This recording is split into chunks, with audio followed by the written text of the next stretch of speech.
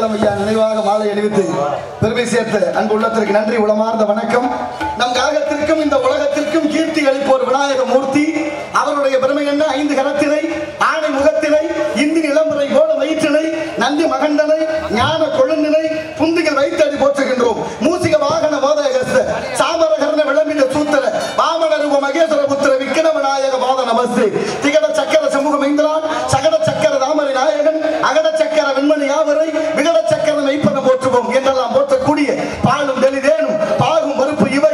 நானும் கலந்துனக்கு நான் தருவேன். கோலம் செய் துங்க கனிமுகத்து தூமணிய நீ எனக்கு. சங்கத்தமிழ் மூன்றும் தா என்ற வகையில் அவரை வணங்கி அவரோடு இணங்கி பிறகு நமது கழகத்தை துவக்குவது சித்தமாகும். அற்புத கீர்த்தி வேண்டி ஆனந்த வாழ்க்கை வேண்டி நற்பொருள் குவித வேண்டி நலமலாம் பெருக வேண்டி கற்பக மூர்த்தி தெய்வ களஞ்சிய திருக்கை சென்று பொற்பதம் அணிந்துவாரில் பொய்யில்லை கண்ட உண்மை சிறுகூடப்பட்டியார் கண்ணதாசன். அந்த வகையிலே விநாயகனை பணிந்து பிறகு பணியை தொடர்போம் சார்பு வைக்க பேச குறைச்சது. வேற ஒண்ணும் இல்லை அவ்வளவுதான். இன்னும் நல்லது நன்றி.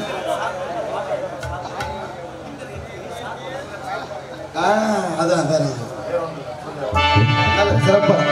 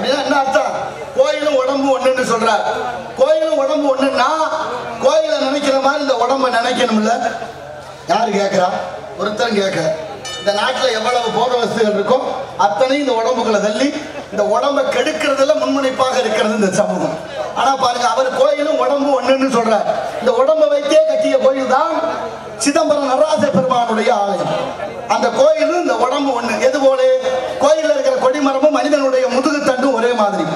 அந்த கொடிமரத்திலையும் முப்பத்தி ரெண்டு இணைப்புகள் உண்டு. முதுகு முப்பத்தி ரெண்டு இணைப்புகள் உண்டு.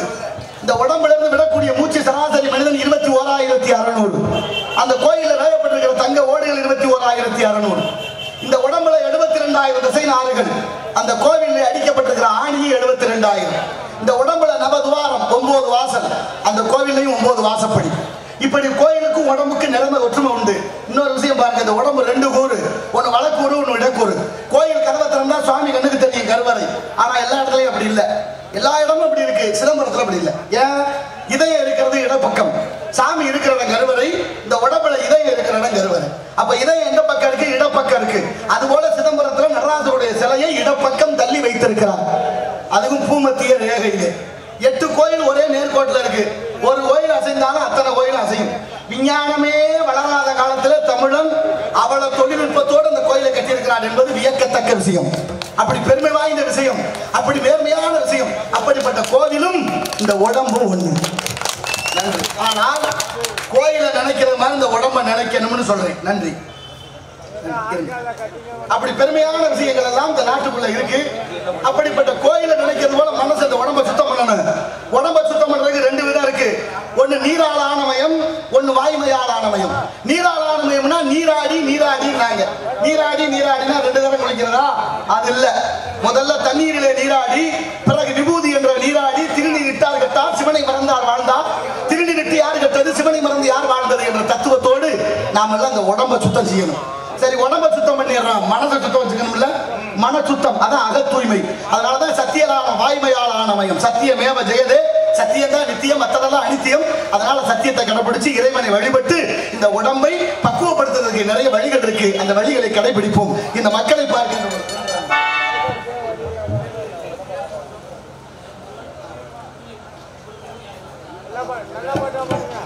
என்னன்னு தெரியலையே எண்பத்தி நாலு வெள்ளம்பர நாட்டு சார்பாக எம் முருகன் அவர்கள் ரூபாய் ஐநூறு வழங்கி இருக்கிறார் அது எனக்கு நூறும் மிருதங்க வாசிக்கும். அன்பு பேராண்டிக்கு நானூறு. வெற்றி. வாழ்க வாழ்க. இனிமேலாவது சிறப்பா வாசிக்க நன்றி நன்றி நன்றி நன்றி.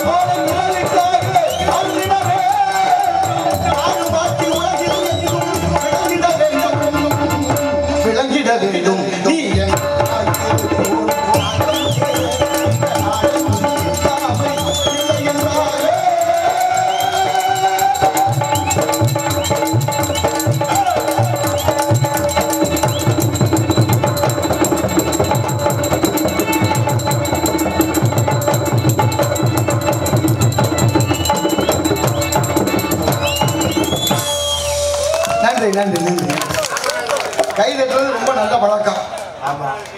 செவ்வாய் போட்டோன்னே மது மது போட்டோன்னு பாருங்க கும்மி அடிக்கிற பாடலாம்.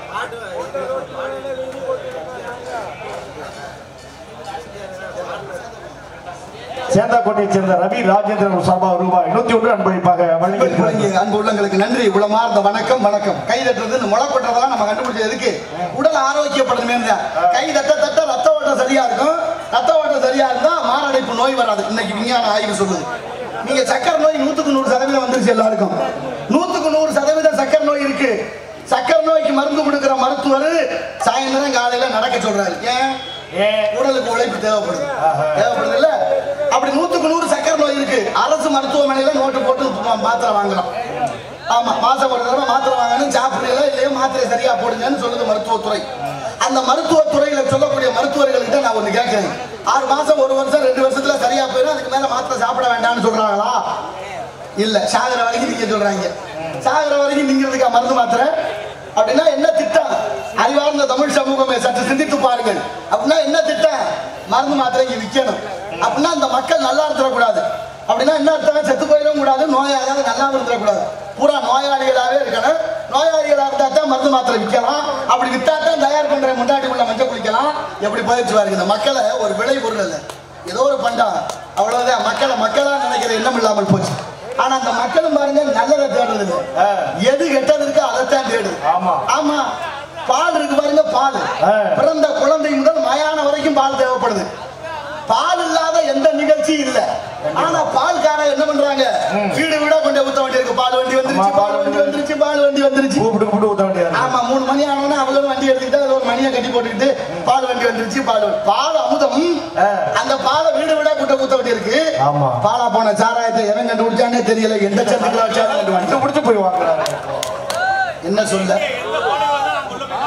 எங்க கொண்டு வந்தாலும் நாங்க வாங்கி வாங்கி சாப்பிடுவோமா நடக்கிறது. அவர் ஒத்துக்கிறாரு ஒன்றும் மறுப்பு இல்லை கொஞ்சம் பேசாம இருக்கு அப்ப என்னாச்சு? நான் உங்களை எல்லாரும் கேட்கிறேன் இன்னைக்கு கீழடி தொல்பொருள் ஆராய்ச்சியாளர்கள் தோன்றாங்க. மதுரை மாவட்டம் சிலைமான் அருகே கீழடியிலே நம்ம தொல்பொருள் இந்திய தொல்பொருள் ஆராய்ச்சியாளர்கள் எட்டாங்கட்ட அகழ்வாய்வு நடந்துட்டு இருக்கு எட்டாங்கட்ட அகழ்வாய்வுல நமக்கு என்ன சொல்றாங்க தெரியுமா? தமிழன் தான் வாழ்ந்திருக்கான் ஆயிரம் ரெண்டாயிரம் வருஷத்துக்கு முன்னால. ஆயிரம் ரெண்டு வருஷம் ஆயிரம் ரெண்டாயிரம் வருஷத்துக்கு முன்னால தமிழன் வாழ்ந்திருக்கிறான். அதுவும் நாகரிகத்தோட வாழ்ந்திருக்கிறான். அப்படி பண்பாடுடைய வாழ்க்கையாக வாழ்ந்திருக்கிறான் என்பது வரலாற்று சான்று. இன்னைக்கு செய்திகள்ல செய்தித்தாள்ல தொலைக்காட்சிகள்ல பார்க்கணும் அறிவார்ந்த தமிழ் சமூகமே உங்க எல்லாரையும் பணிவோட கேட்கிறேன் இன்னொரு முந்நூறு வருஷம் கழிச்சு இந்த பூமியை தோண்டினா என்ன கிடைக்கும் சொல்லுங்க பாப்போம். பாட்டு தான் பாட்டு தான் கிடைக்கும். யோசிச்சு சொல்லுங்க. பூமி பாட்டிலால மூடப்பட்டு விட்டது மூடி இந்த மண்ணு. கோட்டு கிடையாது. பாட்டிலாலே மூடப்பட்டு கொண்டிருக்கிறது இந்த மண்ணு. நெஞ்சு பதறலையா? உங்களோட காசு. நீங்க உழைக்கிறீங்க உங்க குடிச்சிட்டு போங்க உங்களை யாரும் தடுக்க முடியாது. அப்படி குடிக்கிற நீங்க அந்த பாட்டில கண்ட இடத்துல போட்டு உடைக்கிறீங்க நியாயமா? நாளைக்கு நீங்களே மிதிக்கலாம் உங்க உறவினர்கள் உங்க சொந்த பந்தம் தாய உள்ள அக்கா தங்கச்சி தம்பி யாரோ ஒருத்தர் மிதிச்சா அதனுடைய விளைவு என்னவாகும்? ஆனா உங்களை விடுங்க ஆடு மாடு நடக்க நீதி இருக்கா.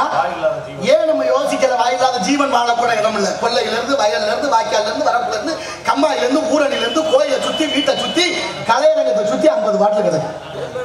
எப்படி போச்சு? இது யாருக்கும் பதறலையா உங்களுக்கு? நாளைக்கு இந்த மண்ணும் மக்கள் என்ன நிலை ஆவார்கள்? நெஞ்சு பொறுக்குதில்லையா? நிலை கட்ட மாந்தரன் நினைந்து விட்டால் நெஞ்சு பொறுக்குதில்லை என்று பாடினானே. பாரதி அந்த வைர வரிகள் உங்களுக்கு ஞாபகத்துக்கு வரலையா? சற்று சிந்தித்து பாருங்கள் இந்த மண்ணு மக்கள் என்ன கதியாக போகுது? ஏன் காரணம் என்ன தெரியுமில்ல? என்ன காரணம் தெரியுமில்ல? அரசாங்கமே சாராயம் விற்குது யாரு கேட்பா? கேட்க முடியுமா? சாராய கடை வேண்டாம்னு நூறு பேர் போராடுனா நூத்தம்பது பேர் வேணும்னு போராடுறேன். உருப்படுமா நாடு? நினைச்சு பாருங்க. எப்படி போயிடுச்சு பாருங்க. அரசாங்கமே சாராயம் வித்தா தடுக்க முடியுமா? டாஸ்மாக்னு பேரு. டாஸ்மாக்னா என்ன அர்த்தம்? நுகர்வு பொருள் வாணிப கழகம்னு அர்த்தம். நுகர்வு பொருள் வாணிப கழகம்னா என்ன விற்கணும் அரிசி பருப்பு உணவு பொருள் விற்கணும் உணவு பொருள் அரிசி பருப்பு விற்கிறதுக்கு பேர் வச்சுக்கிட்டு சாராயம் வித்தா யாரையா கேட்குது? கேட்க முடியுமா? கேட்டுட்டு தான் நீங்க வாழ்ந்துருக்கீங்க அந்த பூமியில. நம்ம கணத்துக்கு பெரிய இடத்து பொல்லாப்பு அரமனை கோழி முட்டை அம்மிக்கல்ல உடைக்கும். காய்ச்சி விட்டா கள்ளச்சாராயம் அரசாங்கமே விட்டா நல்ல சாராயம். என்ன சொல்ல? எதையும் சொல்றதுக்கு இல்ல. இந்த மக்கள் என்று திருந்தும் என்று வேடிக்கை பார்த்து கொண்டிருக்கிறோம். பாப்பநாடு அஜய்குமார் சோழகர் வரதராஜன் சோழகர் எனக்காக ரூபாய் இருநூறு வழங்கியிருக்கிறார்கள். மரியாதைக்குரிய பாசமிகு அன்பு உள்ளங்களுக்கு நன்றி. உளமார்ந்த வணக்கம். சற்று சிந்தித்து பாருங்கள் தமிழ் சமூகமே. உலகத்துக்கே வீரத்தை பறைசாற்றிய தமிழினம் இன்று தரிகட்டு இருக்குங்கிறத மட்டும் உணர்ந்து கொள்ளுங்கள். தயவு செய்து பாட்டும் பரதமும் பண்புள்ள நாடகமும் நாட்டுக்கு நல்ல பயன் தரும் என்றார் சுத்தானந்த பாதிரியார். பாட்டும் பரதமும் பண்புள்ள நாடகம். அப்ப மத்தவங்களுக்கு ஒரு பிரதி பிரயோஜனமா இருக்கணுமே தவிர வந்ததும் புதுசு உழுததும் தரிசுன்னு இந்த காதல வாங்கி இந்த காதல விட்டுட்டு போக கூடாது என்பது என்னுடைய தாழ்மையான வேண்டுகோள். அறிவார்ந்த தமிழ் சமூகம் விழிப்புடன் இருக்க வேண்டும் என்று கேட்டுக்கொண்டு. எல்லாத்துக்கும் காரணம் என்ன? என்னது? எல்லாம் காசு தான் காரணம் பைக் ரெண்டு. உலகம் சமநிலை பெற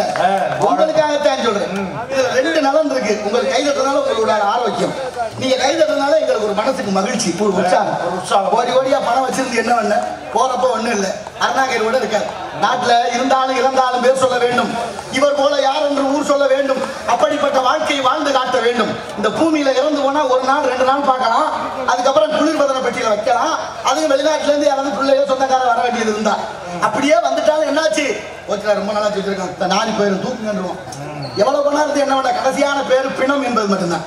அப்ப நான் என்ன சொல்றேன்? இந்த பூமியில ரெண்டே ரெண்டு பேருடைய உடம்பு தான் இன்னைக்கு இருக்கு. ஆயிரம் வருடங்களை கடந்து. ஆயிரம் வருடங்களை கடந்து ரெண்டு பேருடைய உடம்பு இந்த பூமியில இருக்கு. எத்தனை பேருக்கு தெரியும் எனக்கு தெரியாது. ஒருத்தர் ஆன்மீகவாதி இன்னொருத்தர் அரசியல்வாதி. ஆன்மீகவாதி யாரு? ஓம் நமோ நாராயணா என்ற எட்டெழுத்து மந்திரத்தை இந்த பூமியில எல்லோருக்கும் தெரிவித்த ராமானுஜருடைய உடம்பு.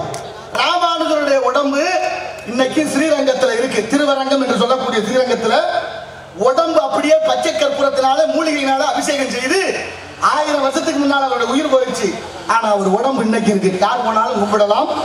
ஸ்ரீரங்கத்தில். அவர் ஆன்மீகவாதி. இன்னொருத்தர் அரசியல்வாதி. ரஷ்ய புரட்சியாளர் லெனின். அவனுடைய உடம்பு இன்னைக்கு இருக்கு. வேற யாரு நம்ம தான் ஜாம்பலா போறோம் இல்லைன்னா புதைக்கிறான் எப்படி வேணாலும் ஆகும். முடிசார்ந்த மன்னரும் இறுதியில் பிடிசாம்பலுக்கிறை ஆவார் ஒரு தத்துவத்தோடு வாழ்வது ஒரு வாழ்க்கை எடுத்துக்காட்டாக வாழ வேண்டும் அந்த வகையில் இந்த இடத்தின் சிறப்புகளை பார்த்தார். நம்ம நாட்டில் ஆயிரத்தி எட்டு சிவன் கோயில் நூத்தி எட்டு பெருமாள் கோயில். பண்புள்ளவர்களே படிப்பாளிகளே அறிவாளிகளே உங்க இடத்துல அருமையான ஒரு கேள்வியை வைக்கிறேன். ஆயிரத்தி நூத்தி பதினாறு கோயில் இருக்கு. அத்தனையும் மன்னர்கள் காலத்திலே கட்டப்பட்டது. அத்தனையும் மன்னர்கள் காலத்திலே கட்டியிருக்கிறார்கள். கல்லாலே கட்டியிருக்கிறார்கள். குறிப்பு அதுதான். கல்லாலே கோயில் கட்டியிருக்கிறார்கள். ஆனா அந்த கல்லெல்லாம் எங்க எடுத்தாங்கன்னு இந்த பூமியில தடயம் இல்லை. ஆனா இன்னைக்கு ஒரு கோயில் கூட கட்டல. அம்புட்டு மலையை உடைச்சிட்டாங்க. யாரும் கேட்கல. எல்லாரும் மௌனமா இருக்கமே. யாரும் கேட்கலையே? அப்ப சரின்னு தானே ஏத்துக்கிட்டு இருக்கிறோம். நான் என்ன கேட்கறேன்? சரின்னு நீங்க விட்டுட்டு இருக்கிறீங்க நியாயம் தான். ஒரு மரத்தை வெட்டிட்டா நூறு மரம் வச்சு நட்டுப்படலாம். இது சாத்தியம். வளர்த்தரலாம் ஆனா ஒரு மலையை உடைச்சிட்டா திருப்ப உற்பத்தி பண்ண முடியுமா? யாராலையும் உற்பத்தி பண்ண முடியாத ஒரு பொருளை அழிக்கிற உரிமை எவன் கொடுத்தா உங்களுக்கு? இயற்கை நாளைக்கு உங்களை அழிக்காது. நியாயமா அதெல்லாம்? நினைச்சு பார்க்க வேண்டாமா? எப்படி போயிடுச்சு பாருங்க இந்த சிந்தனை கெட்ட தமிழ் சமூகம். ஏன் நமக்கு இருந்த அறிவை எல்லாம் இப்படி ஆகி போச்சு ஏன் தெரியுமா? மாவு மாக்களும் ஐயறிவினவை என்பது தொல்காப்பியம். ஆறு அறிவு இறைவன் படைப்புல இருக்கா எல்லாருக்கும்? எங்க? ஆறு அறிவு. சில பேருக்கு அஞ்சு அறிவான் சில பேருக்கு நாலு அறிவான் நான் நான் சொன்னா உலகம். என்னத்தை சொல்ல? நானா சொல்றேன். மாவு மாக்கள் ஐயர்வினவை என்ற தொல்காப்பியம்? கம்பர் பாடுற ராமாயணத்துல சொல்றார் தக்க இன்ன தகானன இன்னதென்று ஒக்களர் ஆயினும் மக்கள் விளங்கே ஒண்ணுங்கிறார். புரியுற மாதிரி பாருங்க சில வீட்டுல போய் கேட்டு பாருங்க ஏமா உங்க வீட்டுக்காரருங்க இந்த அங்கிட்டு தான் தெரியும் போய் பாரு. தெரியும்னா என்ன அர்த்தம்? ஆட மாடம் வந்துருதா? ஆடு மாடு அட்டை அரணை பாம்பு பள்ளி ஒட்டக ஓன அத்தனை இப்படி வளர்றத வச்சாங்க ஆண்டவன். மனுஷனைத்தானே இப்படி உயர்ந்த நோக்கத்தோடு வளர வச்சா உயர்வாக? அதுக்காகத்தானே இலக்கணம் அதுக்கு உயர்திணை என்று பெயர் வைத்தது. ஆனால் அறிவை பயன்படுத்தவே தவறுகிறோமே. காரணம் என்ன? எல்லாம் மயக்க நிலையில இருக்கிறான். இதுக்கெல்லாம் காரணம் என்ன? காசா லேசா காசா லேசா காசா லேசா. காசு இருந்தா தாண்டா நம்ம நாடு மதிக்கும். காசு இல்லாதவனை கழுத கூட எட்டி உதைக்கும். கையில வாங்கின பையில போடல காசு போன இடம் தெரியல. காதலி பாப்பா காரணம் கேப்பா ஏது சொல்வது புரியல என்று ஒவ்வொருத்தரும் அவரவர் அறிவுக்கேற்றபடி பாடி இருக்கின்றார்கள் உலகம் உன்னை மதிக்கும்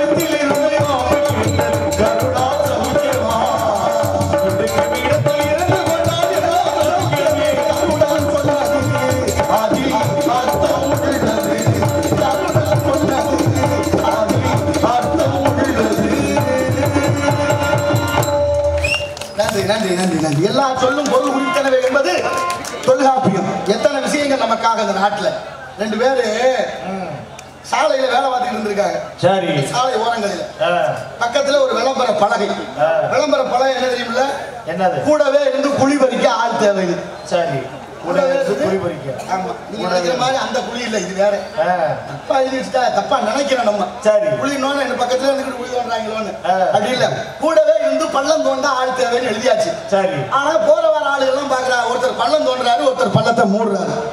ஒருத்தர் பள்ளம் தோண்ட சரி. ஒருத்தர் மூட. அப்பா என்ன வேலை வாங்குறிய எதுக்கு தோன்றிய? எதுக்கு மூடுறிய? ஒண்ணும் பண்ணாம தோண்டவும் மூடவும் முடியுதா. கேப்பா இல்ல. ஆமா. யாரோ எல்லாருமே கேட்கறாங்க. என்ன நடந்தா நமக்கு என்ன காதை குத்திக்கிட்டு கண்ணை மூடிட்டு போறது அதிகமா இருக்கு. ஆனா யாரோ ஒருத்தர் கேட்டுட்டாங்க அவன் சொன்னா ஒண்ணு இல்லையா நாங்க மொத்தம் மூணு பேர் வேலை பாக்குறது சரி. நான் பள்ளம் தோன்ற ஆளு. இன்னொருத்தர் மரக்கன்றதுல வைப்பாரு. இவர் அதை மண் மண்ணை போட்டு மூடுவார். மொத்தம் மூணு பேர் வேலை பார்க்கறது. இன்னைக்கு இடையில மரக்கன்று வைக்கிறவர் விடுமுறை. அவர் வரல.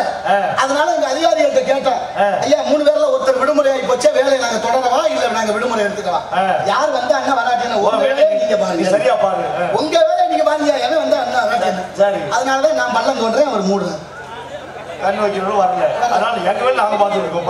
எங்க பள்ளம் தோண்ட மூட. கண்ணு கண்ணு வைக்கல. அவன் திருப்பி தோண்டி ஆளு ஆளு நீங்களே மரக்கண்ணை வச்சு கண்ணை மூடுங்கப்பா மண்ணை தள்ளி மூடுங்கப்பான்னு சொல்லுங்க. இல்ல இவங்களாவது சரி அவன் தான் வரலையே நம்ம வெப்பம்னு பாருங்க. என்ன பண்றாங்க? சொன்னதுக்காண்டி பள்ளம் தோண்ட மூட. இப்படித்தான் இருக்கு இந்த நிலைமை.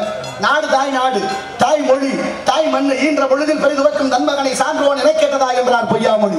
யாவறிந்த மொழிகளிலே தமிழ் மொழி போல் இனிதாவது எங்கும் காணோம் என்றார் எட்டயபுரத்து முண்டாசி கவிஞன் மீசை கவிஞன் பாரதி. யாதும் ஊரே யாவரும் கேளு தீதும் நன்றும் பிறதர வாரா கனியன் பூங்குன்றார் எந்த ஊர் தெரியுமா? கனியன் என்பது பேரு. பூங்குன்றம் என்பது ஊரு. அதுதான் சிவகங்கை மாவட்டம் திருப்பத்தூர் அருகாமையில் உள்ள மகிபாலன்பட்டி மகிபாலன்பட்டியில பிறந்த புறநானூற்று புலவன் பாடிய வாசகம்தான் யாதும் ஊரே யாவரும் கேளீர் தீதும் நன்றும் பிறர் தரவாரா என்று. இந்த வாசகம் எங்க இருக்கு தெரியுமா? ஐக்கிய நாடுகளின் ஒன்றியமான ஐநா சபையில் இருக்கு. ஐநா சபையில தமிழ் இருக்கு. அவைகளுக்கு தெரியுது தமிழனுடைய மகத்துவம் என்னது. அமெரிக்கா நயாகரா நீர் அருவி. உள்ள நுழையிற போது வச்சிருக்கான். நல்வரவுன்னு தமிழ்ல. அவனுக்கும் தெரியுது தமிழை பற்றி. சப்பானிய பல்கலைக்கழகம் அங்கேயும் வச்சிருக்காங்க தமிழ்ல. யாதும் ஊரே யாவருங்கள் அவனுக்கும் தெரியுது தமிழை பற்றி. செருசலேம் கிறிஸ்தவர்களுக்கு உகந்த இடம். பத்து கட்டளையை மொழிபெயர்த்து பல மொழிகளை தேர்ந்தெடுத்தார்கள். நிறைவாக வந்து நின்றது நம்ம தாய்மொழி. தமிழ் இன்னைக்கும் கல்வெட்டு அவனுக்கும் தெரியுது தமிழை பற்றி. என்ன ஒரு ஆச்சரியம்? லண்டன்ல பசுமாடு அம்மானு கத்துதான். எங்கேயாவது இந்த கொடுமை எங்கேயாச்சும் இருக்கா. லண்டன் பசுமாடு அம்மானு கத்துது. ஆச்சரியம் இல்லையா? லண்டன்ல பிறந்தவங்களுக்காக மம்மினோ மதர்னோ அது கத்தல. ஆனா பசுமாடு அம்மானு கத்துது. எங்க? லண்டன்ல. லண்டன் நாட்டுக்கு தெரியுது தமிழை பற்றி. அது அம்மானு கத்துது. நம்ம தமிழ்நாட்டுல தான் பல எரும மாடுகள் தமிழை மறந்துருச்சு. என்ன சொல்ல? தமிழ நாட்டிலையும் தமிழ் இல்ல. தமிழ நாட்டிலையும் தமிழ் இல்ல. தமிழ வீட்டிலையும் தமிழ் இல்ல. யார் வீட்டுல தமிழ்ல பேர் இருக்கா? ராசிகா அபர்ணா பிரித்திகா சர்மா குருமா மகிஷான்னு பேர் வச்சுட்டான். நான் கேட்கிறேன் உங்க எல்லாரையும் படித்தவர்களே பண்பானவர்களே. சுதந்திர போராட்ட தியாகிகள் அதாவது தியாகிகள் வடநாட்டில் உள்ள ஒரு பேரெல்லாம் நம்ம பிள்ளைகளுக்கு வச்சிருக்கோம். காந்தி நேரு பகத்சிங் சிவாஜின்னு. ஆனா நம்ம நாட்டில் எத்தனை சுதந்திர போராட்டத்தில் உயிர் விட்டுருக்காங்க அவங்களுடைய பேர் யாராவது வடநாட்டுக்காரன் வச்சிருக்கானா? அவன் வைக்கல. ஏன்னா அவனுக்கு தெரியும். அவன் சரியா தான் இருக்கிறான் நம்ம ஏன் இப்படி ஏழனமா போனோம்? பேர் பாருங்க மகிஷா மகிஷான்னா எருமைன்னு அர்த்தம். நாளைக்கு இருநூறு வருஷம் முந்நூறு வருஷம் கழிச்சு தமிழன் வாழ்ந்தான் என்பதுக்கு பேர் கூட இல்லாம போச்சு. எப்ப சிந்திக்க போறோம்? நாக்குல தமிழ் இருக்கா? நெல்லு அரிசி சோறுன்னு பேரு. நெல்லு அவிச்சு அரைச்சு எடுத்த அரிசி. ஆக்கி இறக்குனா சோறு. சாப்பிடுற எல்லாரையும் கேட்கிறேன். யாராவது சோறு போடுங்கன்னு சொல்றீங்களா? மனசாட்சியை தொட்டு சொல்லுங்க. சாதம் வைங்க. ரைஸ் வைங்க சாப்பாடு வைங்க. சோறுன்னு சொல்லணும். சுத்தமான தமிழை காப்பாற்றினால் நீண்ட நாள் வாழலாம். ஆயுள் கூடும். தமிழை யாரெல்லாம் மறந்து தமிழை தனிகட்டத்தனமாக விட்டு வேற்று மொழிகளை மோகம் கொண்டீர்களோ ஆயுள் குறைந்து கொண்டிருக்கிறது வரலாற்று சான்று. கட்டடத்தை எங்கன எம்மன எரள வளல வல்லின மெல்லின இடையினும் இனத்தில் ஒரு எழுத்து சேர்த்து தமிழ் தமிழடியாக பிறந்தது. எவ்வளவு உயர்ந்த மொழி? அம்மான்னு கத்துற மாடு மாடா இருக்கா? மாடு மாடா இல்ல. போச்சு எல்லாம் மரபணு மாற்றப்பட்டு விட்டது. அப்பேற்பட்ட உயர்ந்த மொழி தமிழ்ல பேர் வைங்க. பள்ளி ஆசிரியர்கள் யாரேனும் வந்திருந்தா உங்க பாதம் தொட்டு வேண்டி கேட்டுக்கிறேன். பாடசாலையில குழந்தைகளுக்கு வல்லினம் வெள்ளினம் கற்றுக் கொடுங்க. போச்சே பாடசாலை மாதிரியா இருக்கு? வலைதளங்களை பாத்தீங்களா எவ்வளவு கொடுமை நடக்குது? படுத்து உறங்குறது மடியில படுக்கிறது ஆம்பளை பிள்ளை பொம்பளை பிள்ளை அத்தனையும் குடிக்க ஆரம்பிச்சிருச்சு. நெஞ்சு கொடுக்குதா உங்களுக்கு? நினைச்சு பார்க்க வேண்டாமா? நமக்கு பின்னாலே இந்த பூமியில இந்த பிள்ளைகள் எப்படி வாழும் என்ற எண்ணம் இருக்கா அவங்களுக்கெல்லாம் யோசிச்சலாம் மூணு வயசு குழந்தைக்கு நாக்கில் புற்றுநோய். என்னென்ன ஆய்வு பண்ணா குடிச்ச தாய்ப்பால் நஞ்சா போச்சு? தாய்ப்பால் நஞ்சா போச்சு அந்த தாயை பரிசோதனை பண்ணா அவன் சாப்பிட்ட சாப்பாடு நஞ்சா போச்சு. சாப்பாடு ஏன் நஞ்சா போச்சு? அத்தனை மரபணு மாற்றி விட்டார்கள் அதனுடைய விளைவு இன்னைக்கு இந்த கெதியில வந்து நிற்கிறான் எப்ப மாற போறோம்? மாறுவதற்கு வாய்ப்பு இருக்கிறதா? என்றால் ரொம்ப சிரமமாத்தான். அப்படிப்பட்ட உயர்ந்த மொழி ஒரு வரலாற்று சான்று சொல்றேன். இப்பதானே ஊரக உள்ளாட்சி தேர்தல் நடந்துச்சு. நகராட்சி தேர்தல். சங்க வைத்து தமிழ் வளர்த்த மதுரையில ஒரு அம்மா வெற்றி பெற்று விட்டார். படித்தவர்களே பண்பாளர்களே சற்று யோசிச்சு பாருங்க. வெற்றி பெற்ற அம்மாவுக்கு ஒரு அரசு அதிகாரி பதவி பிரமாணம் பண்ணி வைக்கிறார். வலைதளங்கள்லாம் இருக்கு. அந்த அம்மா ஐயா சொன்னதானே திருப்பி சொல்லணும்? சட்டப்படி நிறுவ பெற்றேங்கிறார் அவரு. அந்த அம்மா சட்டையை பிடிங்குது யார் கட்டையை பிடிக்கிறது? அந்த அம்மா கட்டையை பிடிக்கிறதா? இல்ல அதிகாரி கட்டையை பிடிக்கிறதா? அந்த அம்மா நிறுத்தினவர் கட்டையை பிடிக்கிறதா? தேர்ந்தெடுத்தவர் கட்டையை பிடிக்கிறதா? சங்க வைத்த தமிழ் வளர்த்த மதுரைக்கே இந்த கதி. தமிழ்நாடு. 75வது ஆண்டு சுதந்திரம் கொண்டு கொண்டாடி விட்டோம் நாங்களும் தமிழ் வளர்த்தோம் என்று பீத்திக் கொள்ளும் பகவான்களே கணவான்களே எப்படி இருக்கின்ற நாட்டிலே தமிழ் தமிழ் எவ்வளவு உயர்ந்த மொழி ஏன் தமிழை அழிப்பதற்கு முற்படுகிறார்கள்? இந்தி வளர்க்கலாம் பாருங்க டெல்லி வழியாக இந்தி வளர்க்கிறார்கள் இசை வழியாக சமஸ்கிருதம் வளர்க்கிறார்கள் தெலுங்கு வளர்க்கிறார்கள் கோயில் வழியாக சமஸ்கிருதம் வளர்க்கிறார்கள் பள்ளி வழியாக ஆங்கிலம் வளர்க்கிறார்கள். நாம் எல்லாம் தமிழர்கள் எது வழியாக தமிழ் வளர்க்க போறோம் தமிழர்களே? சற்று சிந்தித்து பாருங்கள் வரலாற்று சான்று நிறைய இருக்கு. போதும் நினைக்கிறேன். போதும் என்ற மனமே கொஞ்சையும் மனம். தமிழை போற்றுவோம். தமிழ் நம்மை வாழ வைக்கும். தமிழே இந்த உலகத்தினுடைய மூத்த மொழி என்பதை உணர வேண்டும் என்ற தன்மையோடு உணரணும்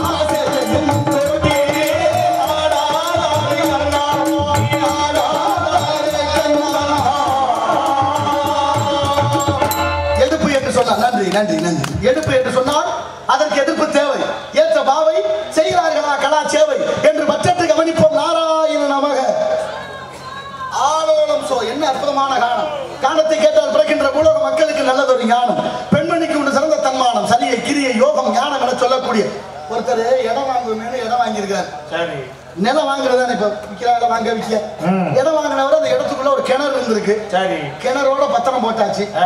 பத்திரம் போட்டு ஒரு வாரம் சென்று இந்த பத்திரம் போட்ட ஆளை பாக்குறாரு அண்ணா என்ன நில்லுங்க உங்களை தான் பார்க்கலாம்னு நினைச்சிட்டு இருந்தேன். நல்ல வேலை எதிரே வந்துட்டீங்க. என்னண்ணே என்ன விஷயம்? ஒண்ணு இல்ல இடத்த வித்தேன் கிணறு உங்களுக்கு தான் வித்தேன். ஆனா கிணத்துக்குள்ள இருக்க தண்ணி எனக்கு சொந்தம். தண்ணியை நீங்க உபயோகப்படுத்தினா மாசம் மாசம் எனக்கு வாடகை தரணும் நானா அது சரி. ஆமா.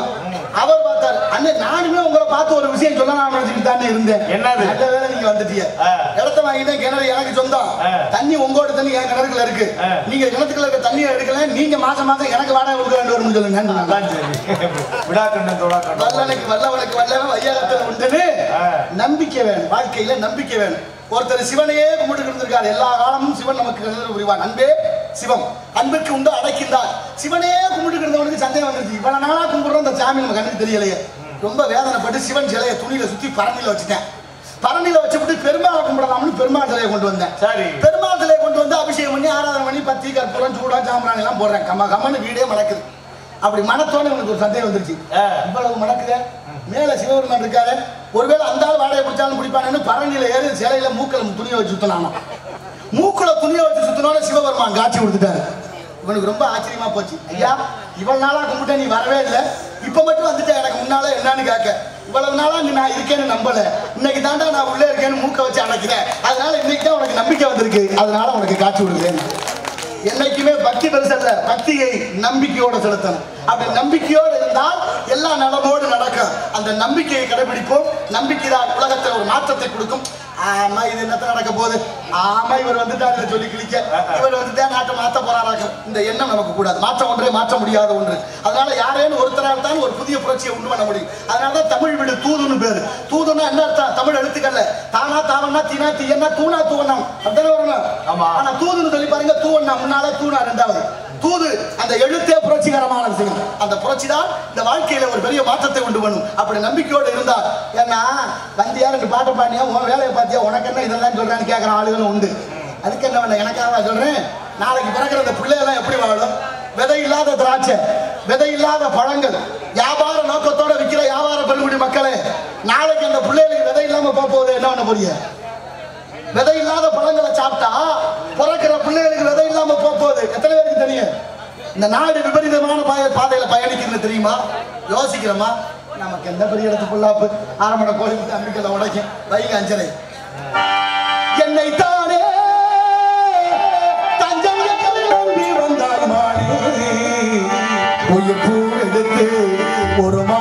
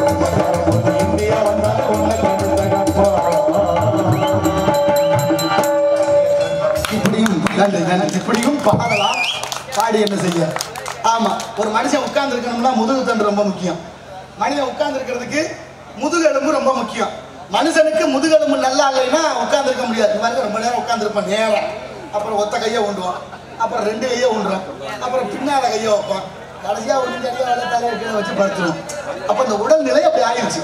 அப்ப முதுகெலும்பு முதுகெலும்பு சரியா இருந்தா மனுஷன் உட்கார்ந்து இருக்கலாம் ஆமா. மனுஷனுக்கே முதுகெலும்பு முக்கியம். நாட்டோட முதுகெலும்பு என்ன? நாட்டோட முதுகெலும்பு என்ன? விவசாயம். விவசாயம். நாட்டுல விவசாயிக்கு மரியாதை இல்லை விவசாயத்துக்கு மரியாதை இல்லை. நாளுக்கு நாள் விவசாயி சாகுறாங்க. அரசாங்கம் கணக்கு மட்டும்தான் எடுக்குது. ஏன் சாகுறாங்கன்னு இது வரைக்கும் தடுக்கல. ஏழை எளிய விவசாயிகள் தான் எழுபத்தஞ்சு ஆண்டு கால சுதந்திர இந்தியாவில் சொல்றோமே தவிர விவசாயி இன்னும் கோடீஸ்வரனாவோ பணக்காரனாவோ ஆகல. என்ன காரணம்? அதனுடைய விளைவே பெரிய வருதம். அந்த அவ்வையார் சொன்ன அந்த கிளவி வரப்பு உயரன்னா சோழ மன்னனுடைய சபையில். வரப்பு உயரம்னா என்ன அர்த்தம்? வரப்பு உயர்ந்தால் நீர் உயரும் நீர் உயர்ந்தால் நெல் உயரும் நெல் உயர்ந்தால் குடி உயரும் குடி உயர்ந்தால் கோல் உயரும் கோல் உயர்ந்தால் உலக அரங்கிலே மன்னனும் மக்களும் பேசப்படுவார்கள். அது மட்டுமா? எவ்வளவு தத்துவார்த்தமான வார்த்தை. உழுதுண்டு வாழ்வாரை வாழ்வார் மற்றெல்லாம் தொழுதுண்டு பின் செல்பவர். உழவு இல்லையே உணவு இல்லை. உணவு இல்லைனா உயிர்கள் இல்லை. உயிர்கள் இல்லைனா உலகம் இல்லை. இது ஒரு தொடர்பு. ஒண்ணுக்கொண்ணு தொடர்போட இருக்கு. ஆனா அத்தனையும் மறந்துடும் ஆனா எல்லாரும் ஜோர் தான் வைக்கிறான் ராணிப்பேட்டையில ஒரு ரெண்டு வாரத்துக்கு முன்னால ஒரு நிகழ்ச்சி நடந்திருக்கு. தெரியுமா உங்களுக்கு? ராணிப்பேட்டையில. அத்தனையும் பார்த்துக்கிட்டு தான் இருக்கிறான். என்ன நடந்திருக்கு? ஒரு அம்மா அரசாங்க இடத்துல ரெண்டு விழா சேர்த்து விவசாய நடவு நட்டுட்டான் நட்ட பயிர் வளர்ந்து பெருசா கதிர அறுக்க வேண்டிய தருவாய். பொதுப்பணித்துறை அதிகாரிகள் அளக்குறாங்க அந்த அம்மாட்ட அறிவிக்கிறாங்க. இடத்துல ரெண்டு விழா சேர்த்து விட்டா இதை தொடரக்கூடாது சரிங்க ஐயா நீங்க எடுத்துக்கங்க. நான் கருதை அறுத்துக்கிறேன்னா. மனசாட்சி உள்ள எந்த மனிதன் என்ன செய்யணும்? கருதை அறுத்துக்கிட்ட பிறகு எடுத்து எடுத்துக்கலாம் தானே? அந்த மனிதர்கள் என்ன செய்திருக்கிறார்கள்? வலைதளங்கள்லாம் இருக்கு. அந்த விளைஞ்ச நெல் பயிர் மேல வண்டியை விட்டு ஓட்டி அதை மண்ணோட மண்ணாக்கிட்டாங்க. ஆனா எல்லாரும் ஜோர் தான் நிற்கிறோம் நினைச்சு பாருங்க. கொஞ்சமாவது மனசாட்சி இருக்கா? எப்படி நடந்துகிட்டு இருக்கு? ஒரு பொருளை உற்பத்தி பண்ற எல்லாரும் அந்த பொருளுக்கு விலையை நிர்ணயம் பண்றாங்க. குண்டூசி விற்கிறவங்க கூட வரியோட சேர்த்து விலை சொல்ல. தீப்பெட்டி விற்கிறவங்க கூட வரியோட சேர்த்து விலை சொல்ல. ஆனா நிலத்துக்கு வரிவாயுதா கட்டி உழுக பணம் கொடுத்து விதை காசு கொடுத்து வாங்கி உரம் பணம் கொடுத்து வாங்கி பூச்சி மருந்து பணம் கொடுத்து வாங்கி களைக்கொல்லி பணம் கொடுத்து வாங்கி களை எடுக்க பணம் கொடுத்து கதிர் எடுக்க பணம் கொடுத்து விவசாய பெருங்குடி மக்களை சற்று சிந்தித்து பாருங்கள். அத்தனையும் வரவு செலவு செய்து விளையிற நெல்லை விற்க கொண்டு போனா வேலை நம்ம சொல்ல முடியல. வர்றவன் சொல்றேன் உன் நெல்லுக்கு விலை இவ்வளவுதான்னு. கட்டுப்படி ஆகுமா ஆகாதான்னு யாருக்கு தெரியும்? விளைய வச்ச உற்பத்தி பண்ண நமக்கு தான் தெரியும். ஆனா நமக்குள்ள ஒற்றுமை இல்லாத பத்தி கவலையும் படல. யாராவது நினைச்சிருக்காங்களா? ஆனா என்ன செய்யறாங்க? வாங்கிட்டு போறவங்க. வாங்கிட்டு போறவங்க அந்த நெல்லை ஊற வச்சு அவிச்சு அரிசி ஆக்கி அதே அரிசியை நமக்கிட்ட விற்கிறாங்க அவங்க விலை வச்சு. அதை வாங்கி தின்ட்டு நம்மளும் ஜாகிறோம் இதை விட கேவலம் என்ன நினைச்சு பாருங்க. நம்ம உற்பத்தி பண்ற பொருளுக்கு விலை சொல்ல முடியல. இருபத்தஞ்சு வருஷத்துக்கு முன்னால எல்லார் வீட்லயும் விதை நெல் இருந்துச்சு. ஏன் இன்னைக்கு இல்ல? தமிழ் சமூகமே அறிவார்ந்தவர்களே ஏன் நம்ம கிட்ட விதை நெல் இல்லை? யார் பறிச்சது எப்படி காணாம போச்சு? விதை நெல் இப்ப யாருகிட்ட இருக்கு? அப்படின்னு யாராவது யோசிச்சோமா? நீங்க இன்னைக்கு பத்து மூடை இருபது மூட நூறு மூட விதை நெல் வச்சுக்க முடியாது. ஏன்? தமிழ்நாடு அரசு ஒரு சட்டம் உணவு பதுக்கல் சட்டம்னு கைது நடவடிக்கை வரும். என்னத்தை சொல்ல? இதெல்லாம் இருக்கு. நிறைய விஷயங்கள். நேரத்தை காலத்தை அனுசரிப்போம். இப்படிப்பட்ட விஷயங்கள் நாம எல்லாம் ஒற்றுமையோடு இருக்கணும். அதுலயும் பாருங்க சல்லிக்கட்டு மாடு வளர்க்கப்படாது சல்லிக்கட்டு மாடு வளர்த்தா அரசாங்கத்துல பதிவு பண்ணணும். அரசாங்கத்துல எத்தனை மாடு வச்சிருக்கோம்னு பதிவு பண்ணணும். நியாயம் சட்டப்படி ஒத்துக்குவோம். ஜல்லிக்கட்டு மாடு எத்தனை எத்தனை வச்சிருக்காருன்னு அரசாங்கத்துல பதிவு பண்ணுவோம். ஆனா இன்னொரு சட்டம் இருக்கு. என்னது? ஜல்லிக்கட்டு மாடை மாட்டை பசு மாட்டோட சேர விடக்கூடாது. அப்ப யாரோட சேரணும்? சட்டம் போட்ட ஆளுகளை கேட்கணும் எனக்கு யாரோட சேர விடணும் என்னைய கேட்டு நான் என்ன செய்ய நான் இருக்கிற விவரத்தை தான் சொல்றேன். சல்லிக்கட்டு மாட்டை பசுமாட்டோட சேர விடக்கூடாதுன்னு சட்டம். ஏன் தெரியுமா? அப்படி சேர்ந்தா நாட்டு மாட்டு கண்ணுக்குட்டி பிறந்துடும் நல்ல வீரியத்தோட. அப்படி அந்த மாட்டை மாட்டோட நீங்க சேர விட்டீங்கன்னா ஊசி போடுறவருக்கு ஒரு ஆள் இருக்காரு. அப்புறம் அவருக்கு என்ன வேலை? அந்த ஊசி அந்த நாட்டில் விற்கிறதா வேண்டாமா? அதான் வெட்டினரி டாக்டர்னு ஒருத்தர் இருக்காரு. அப்ப என்ன அர்த்தம்? பன்னாட்டு முதலாளிகளுடைய ஊசியை இங்க விற்கணும்னா காலமாடும் பசுமாடும் சேரக்கூடாது. நான் கேட்கிறவங்க எல்லாரையும் காளமாடு பசுமாடு சேரக்கூடாதுன்னு போட்ட சட்டம் நாளைக்கு நீங்க கல்யாணம் பண்ணோன்னே நீங்க ரெண்டு பேரும் சேரக்கூடாதுன்னு ஒரு சட்டம் போட்டா என்ன பண்ணுவீங்க? இப்படியே வேடிக்கை பார்த்துக்கிட்டு தான் இருப்பீங்க. வேற ஒண்ணும் இல்ல. நடக்கும். எழுதி வச்சுக்கோங்க. இதுக்கெல்லாம் எப்போ ஒரு முடிவு வரப்போகுது? எதை பத்தியும் கவலைப்படாது அரைச்சீட்ட வேணும் நானே பாரதி. ரவுத்திரம் பழகு நானே. எதை பத்தியும் கவலைப்படாம மௌனம் காக்கிறதுக்கு காரணம் என்ன? எல்லாம் பறிபோச்சு. குடுமியாமலை இருக்கு தெரியுமா? எங்க இருக்கு? புதுக்கோட்டைக்கு அடுத்து இருக்கிற குடுமியாமலை குடுமியாமலையை உடைக்கிறதுக்கு மாவட்ட ஆட்சித்தலைவர் உத்தரவு. தடுத்து நிறுத்தினது யார் தெரியுமா?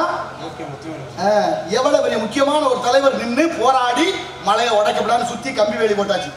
இன்னைக்கு போனாலும் பாதுகாப்பு போட்டாங்க. எவ்வளவு விஷயம்? அதை உடைச்சிருந்தா அதை உற்பத்தி பண்ண முடியுமா? இது மாதிரி ஒவ்வொரு இடத்துலயும் நடக்குது. இப்படி பேசாம இருக்க இந்த தமிழ் சமூகம் நூத்தி ஐம்பது ரூபாய்க்கு ஏறிடுச்சு பெட்ரோல் டீசல் விலை. கேட்கலையா யாரு? எதை பத்தி கவலை இல்லை. நாங்க வண்டி எடுக்கிறோம் ஒவ்வொரு நாளும் நாடகக்காரர்களுக்கு ஒவ்வொரு நாளும் ஒரு வாடகையா இருக்கு. எதை கொடுக்க? ஒரு நிர்ணயம் பண்ணி ஒரு நூத்தம்பது அருணாய்க்கு வந்து ஒரு ஆயிரம் ரெண்டாயிரம் ரூபா இப்போ நாலாயிரம் கேட்க வேண்டிய நிலைமை வந்துருச்சா? நான் என்ன கேட்கிறேன்? நாடகத்துக்கு ஆயிரம் ரூபாய் ஆமா எரிபொருள் எண்ணெய் எல்லாம் விலை ஏறிடுச்சு. உருளை எல்லாம் விலை விலை ஏறிடுச்சு. ஆனா விலை கொஞ்சம் கொஞ்சமா ஏறும் போதெல்லாம் போராடுன இந்த சமூகம் இன்னைக்கு எல்லாம் வாயில பசைய போட்டு ஓட்டிக்கிட்டு இருக்கு. நம்ம அரமனை கோயில் உடைக்க.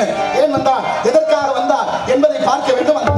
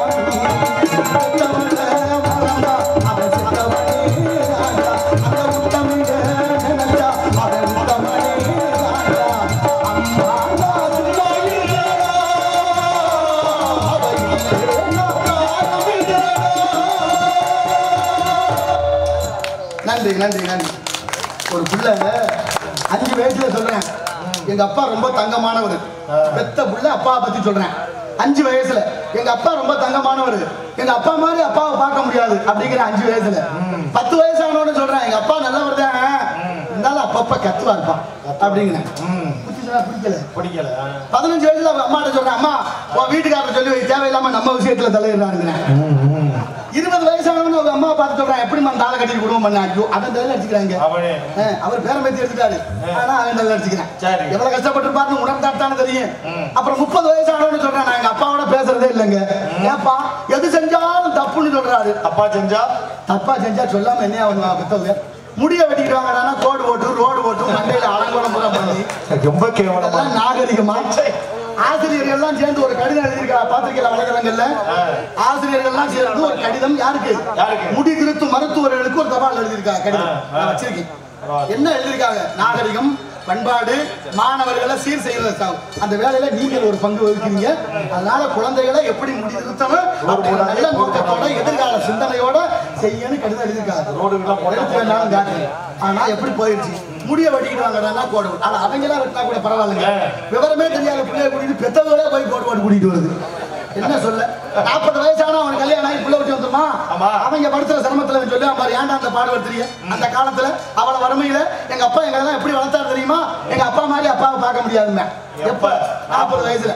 அஞ்சு வயசுல சொன்ன வார்த்தையை திரும்ப சொல்றதுக்கு முப்பத்தஞ்சு வருஷம் இடைவெளி தேவைப்படுது. இதான் வாழ்க்கை. இதுதான் யதார்த்தம். இதை புரிஞ்சுக்கணும். நாட்டுல நல்லவங்களா வாழ முடியல. நல்லவன் ஏதாவது சொன்னா கேட்கறதுக்கு நான் மனம் கொடுத்து காது கொடுத்து கேட்க நாதி இல்லை. நிலைமை அப்படி. பாருங்க நபிகள் நாயகத்தை கல்லால் சேர்ந்த உலகம். ஏசுநாதர் சிலுவையில் இருந்தது உலகம். அப்பர் பெருமான கல்லில் கட்டி கடல போட்டா மகேந்திர வல்லவன். ஞான சம்பந்தர் குடியிருந்த மரத்துக்கு தீ வச்சா ஜமனர்கள் மதுரையில் இந்த உலகம் உருண்டேன்னு கண்டுபிடிச்ச விஞ்ஞானி கல்லூரியோட உயிரோட கொளுத்தியது இந்த உலகம். மகாத்மாவை சுட்டது இந்த உலகம். இதை விட என்ன வேணும்? வீட்டுக்கு வீடு ஆட்டுக்குட்டி பிள்ளை மாதிரி வளர்க்குறான். ஆட்டுக்குட்டி பிள்ளை மாதிரி வளர்றது மச்சின வீடு வந்து அதுக்கு ஆயுசு முடிஞ்சு போயிடுது. எந்த ஆட்டுக்குட்டியாவது பேரம் வச்சு எடுத்து செத்துருக்கான் ஆடு கடிச்சு மனிதன் ஜாகல. கோழி வத்தி மனிதன் ஜாகல. மாடு கடிச்சு மனிதன் ஜாகல. மீன் கடிச்சு மனிதன் ஜாகல. அத்தனையும் நான் ஒண்ணும் சொல்லல. ஆடு செய்வான் மாடு செய்வான் மான் செய்வான் குரங்கு செய்வான் யானை செய்வான் அத்தனையும் செய்வான். மனிதன் மட்டும் சைவம்னா சாப்பிட வர்றது இல்ல சைவம்னு ஒண்ணு இருக்கான்னு கேட்கிற ஊரெல்லாம் கூட இருக்கு. ஆனா எப்படி போயிடுச்சு பாருங்க? ஆடு மாடு மனிதனுக்கெல்லாம் பல்லு தட்டையா இருக்கு. ஏன்? தாவரத்தை உண்ணுவதனால. நாய் நரி புலி சிங்கத்துக்கெல்லாம் பல்லு கூர்மையா இருக்கு. ஏன்?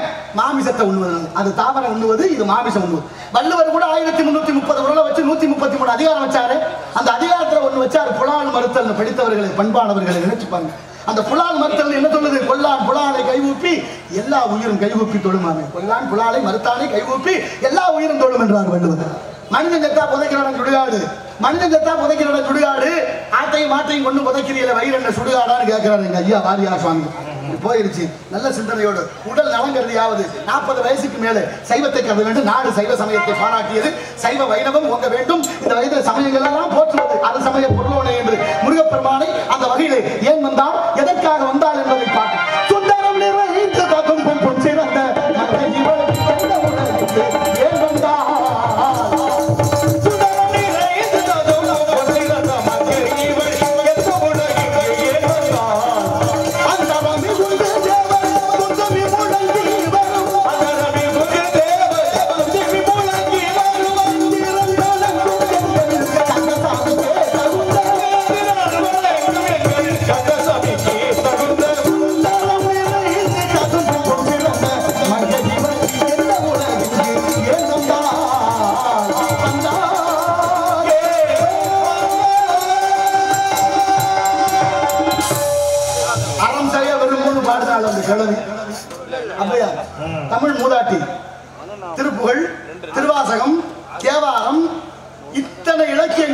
பஞ்ச இலக்கியங்கள் நம்ம தமிழ் நூல்கள். அதை விடவா சிறந்த பாட போச்சிட பொரிய?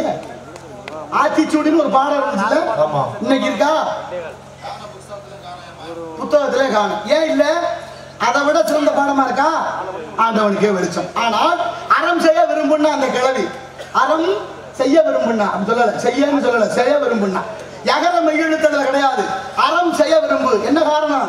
விரும்புறது செய்யறது கை தர்மம் பண்ணா கூட விருப்பத்தோட செய்யுது தர்மம் பண்ணா விருப்பத்தோட செய்யுன்னு சொல்லிட்டு அடுத்த வார்த்தை சொல்றான் அந்த கிழவி ஆறுவது சினம்னு.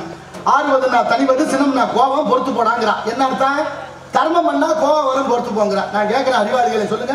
தர்மம் பண்ணா கோபம் வருமா? வருமா? வருமா? வராதா? அந்த கிழவி தெரியாம சொல்லுவாரா அப்ப அந்த கிழவி சொன்னது தப்பா. தர்மம் பண்ணா கோபம் வரும். தர்மம் பண்ணா கோவம் வரும். கோயில்ல பிரசாதம் கொடுத்து பாருங்க என்ன பாடு படுத்துறாங்க? ஒழுங்கா நின்று வாங்குவாங்க நினைக்கிறீங்க அன்னதானம் போட்டு பாருங்க சாப்பிட்றவன் எந்திரிக்கிறதுல பின்னால நிற்பேன் ஆமா. உள்ள வரும்போது இலையோட வருவேன். மோர் வாங்கும்போது சாம்பார் போட்டு தொந்தரவு. இன்னும் சும்மா போறதுல என்ன சோறு போட்டாங்க? எடுத்து தெரிஞ்சு பேசுறது. இப்படி எல்லாம் இருக்கு இந்த தமிழ் சமூகம். இன்னும் பாருங்க என்ன சொல்றேன். ஒரு ஐநூறு ரூபாய் சில்லற மாத்திக்கங்க. அஞ்சஞ்சு ரூபாயா வர்ற ஏழைகளுக்கு ஐயா வாசல்ல உட்காந்து கொடுங்க.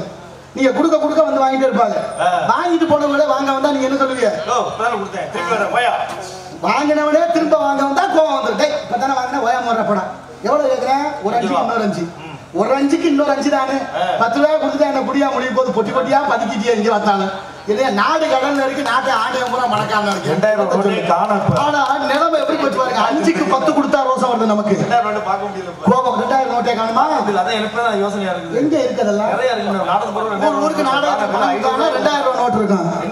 யாருக்கிட்டையும் இதெல்லாம் நம்ம உங்களுக்கு தேவையானு கேட்பாங்க.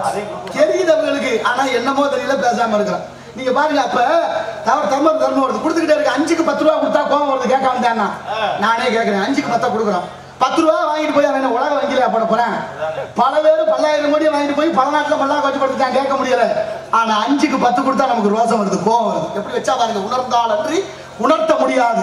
ஞானம் இருவகை அந்த இருவகையை பயன்படுத்த ஒண்ணு தன்வினை இன்னொன்னு பிறர் வினை அதான் இலக்கணம். வருகிறான் காவலன் அவனை சந்திப்போம். பிறகு நமக்கு கடவுள்